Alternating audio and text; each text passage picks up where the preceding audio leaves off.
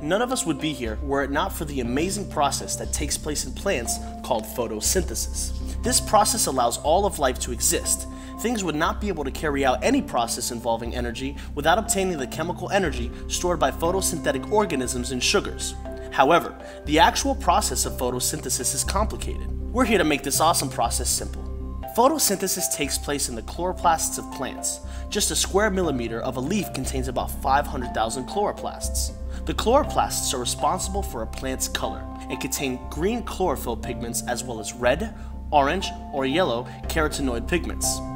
Since these pigments can only absorb light energy that is a specific color, Green chlorophyll pigments absorb the more powerful blue to violet sun rays and reflect green, while carotenoid pigments absorb the less powerful green sun rays and reflect yellow or red.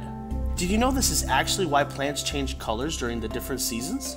When the sun is not as strong in a region that is in the fall or spring season, the green chlorophylls can't use the less powerful light, so the plant reverts to using carotenoid pigments to extend the process of photosynthesis until winter.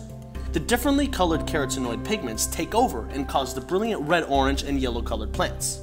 A bunch of chlorophyll and carotenoid pigments work together to form an antenna complex. The first of these complexes is photosystem 2, which has many pigments connected to a reaction center. These pigments become unbalanced when photons from sunlight strikes them. They then transfer the imbalance to a reaction center. In the reaction center, a molecule known as pheophytin receives the imbalance and has to give up some electrons, which pass through a series of reactions known as the electron transport chain. During the time of transfer, electrons from H2O molecules replace the lost electrons of pheophytin and are taken by separating the oxygen atom from its hydrogen atoms. The oxygen is released into the atmosphere and the hydrogens are placed in a temporary spot. The hydrogens in this temporary spot are a very important part of photosynthesis. That we'll get to in a little while. The electron transport chain eventually dumps extra electrons taken from the pheophytin into a second antenna complex, called photosystem 1, that acts similar to the last photosystem but energizes these dumped electrons into the reaction center instead. The electrons are used to make NADPH, which has an important role in making sugar. First, let's get back to the hydrogens put into a temporary spot.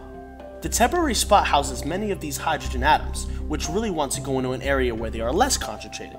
Therefore, the chloroplasts only let the hydrogens move through a small hole to the outside that has a pump connected to it. The motion of the hydrogens crossing over generate energy in the form of ATP, similar to how hydroelectric dams use water flowing through them to spin energy generators. ATP molecules have large atoms that don't really like being next to each other and are constantly pushing each other away, so cells could use this energy of the atoms flying away from each other when ATP molecules are broken down for energy. But ATP is not very stable. So plants take in CO2 and use the NADPH from photosystem 1 to convert the energy into sugars, which also have atoms that are pushing each other away.